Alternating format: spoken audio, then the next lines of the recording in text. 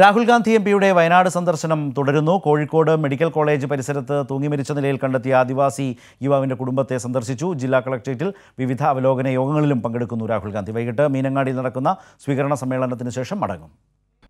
ഭാരത് ചോഡോ യാത്രയ്ക്ക് ശേഷം മണ്ഡലത്തിലെത്തിയ രാഹുൽ ഗാന്ധിയുടെ സന്ദർശന പരിപാടി വൈകിട്ട് സമാപിക്കും. രാവിലെ മുണ്ടേരി മണിയാങ്കോടിൽ കോൺഗ്രസ് നിർമ്മിച്ചു നൽകിയ വീട് അദ്ദേഹം സന്ദർശിച്ചു.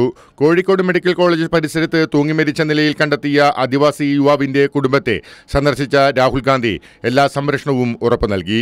അന്വേഷണം വേഗത്തിലാക്കാൻ ഇടപെടുമെന്നും കുടുംബത്തിന് സംരക്ഷണം നൽകുമെന്നും രാഹുൽ ഗാന്ധി പറഞ്ഞു. പുതുശ്ശേരിയിൽ കടുവയുടെ ആക്രമണത്തിൽ കൊല്ലപ്പെട്ട കർഷകൻ തോമസിന്റെ കുടുംബത്തെയും അദ്ദേഹം സന്ദർശിച്ചു. K C Venugopal V D Satheesan തുടങ്ങിയ നേതാക്കൾ രാഹുൽ ഗാന്ധിയെ അനുഗമിക്കുന്നുണ്ട്. വൈകിട്ട് മീനങ്ങാടിയിൽ നടക്കുന്ന പൊതുസമ്മേളനത്തിന് ശേഷം രാഹുൽ ഗാന്ധി ഡൽഹിക്ക് മടങ്ങും. കൈരളി ന്യൂസ് വയനാട്.